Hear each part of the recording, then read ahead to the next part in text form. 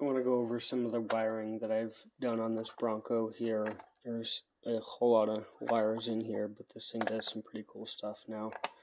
Um, I've got it set up with uh, a second servo up inside here that runs the driver so he turns his head when the steering wheel turns there and I found that the lights themselves when you control them on the light switch here they were not very bright um, and that's because the ESC re reduces the voltage uh, going to them so running the positive directly to the battery rather than through the ESC uh, is able to switch the negative wire, uh, which still turns them on and off, but since the positive is going directly to the battery, it is brighter than it would be normally.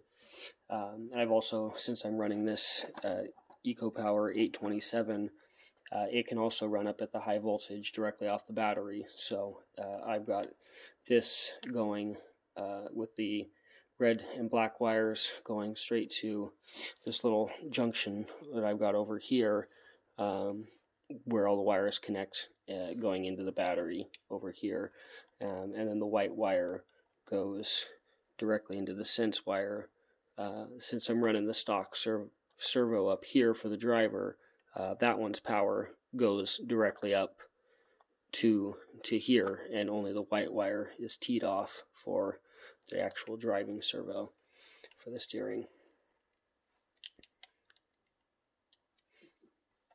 So once you plug the ESC in, um, you would have throttle working, but you would not have the steering working.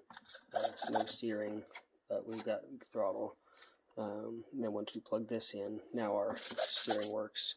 Uh, and it's really fast uh, because it is hooked up direct power there. Really fast, really powerful. Um, I've also got the um, interior light comes on inside here, a couple of them, one back facing um, and then one forward facing, one of them actually uh, in chase over here, kind of glowing into him since he's kind of translucent. So um, those interior lights, and then you've got these rock lights down uh, underneath here as well.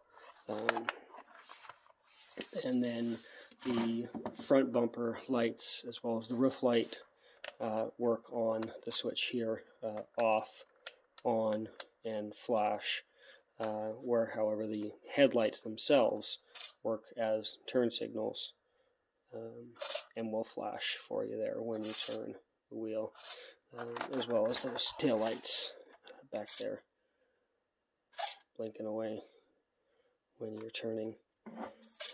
So on this fourth channel switch down here, we'll switch what these headlights do. You can set them up as a emergency flasher, a rapid flash, or off completely, and then we're back at our turn signal. Uh, one of the ways I like to run it is with that one flashing, and then you can turn on the third channel switch here and you can kind of get them into an alternating pattern there.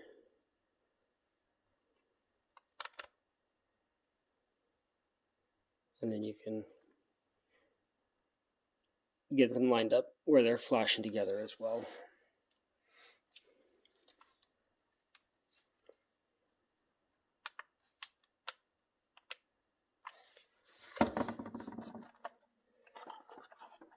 So the wiring for the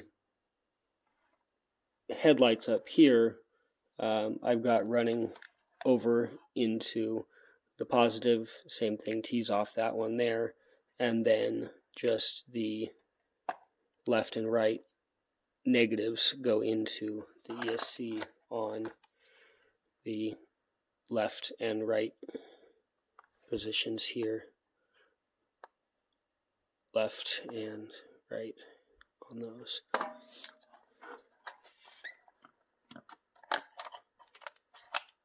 And so the driver in here will actually turn his head while we're.